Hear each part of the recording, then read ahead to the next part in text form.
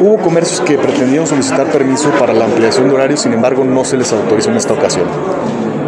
Ninguno violó este... No han violado los horarios hasta el día de hoy según lo que nos establece nuestros, eh, nuestro reglamento de horarios. La realidad es que hemos tenido mucho diálogo con todo el empresariado, estamos muy conscientes de la circunstancia pandémica que estamos viviendo en este momento y creemos que hemos hecho esta reflexión social en conjunto con ellos y creemos que tendremos un muy buen resultado. Lo que nos ayuda en la ampliación de los días del buen fin es exactamente en eso, en buscar que la gente se disperse más, que no eh, acudan todos en un solo momento de un fin de semana, sino que tengamos más espacio para que la gente pueda estar visitando o adquiriendo los productos que le hagan falta. Lo que está sucediendo ahí en Plaza de Armas, están ya acumulando muchos negocios pues informales.